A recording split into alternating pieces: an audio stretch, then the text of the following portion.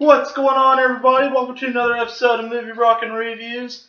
This week we are going to review a few figures from the retro collection, and um, yes, I did show you them back in the day, but uh, I figured I'd show them again since I'm in a place with uh, better light now.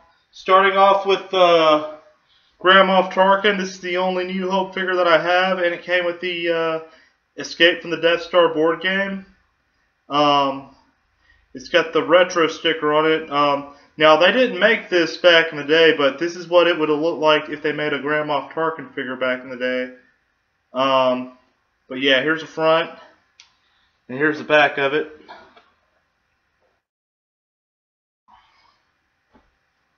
And here is the uh, Empire Stri Strikes Back uh, Luke Skywalker on Bespin. Um, there's the retro sticker on there. And uh, I also have this figure in the Black Series 6 inch form. I've got a grandma. I got the Black Series 6 inch Grand Moff Tarkin, but not in a card back. The front and the back. And as you noticed, uh, the lightsabers, um, the hilt is the same color as the saber itself.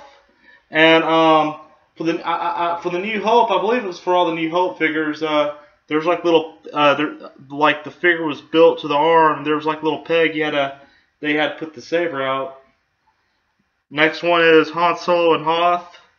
I also have this in Black Series 6 inch form, um, but not in the retro collection.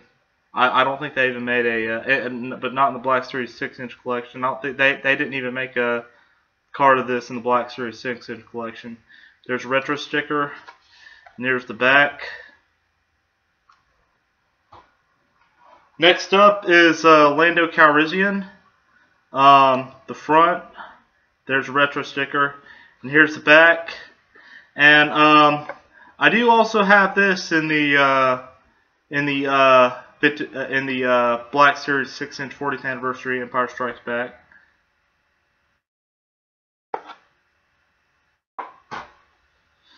Well, that about wraps it up for today. You can find the Movie Rocker on Facebook and Instagram.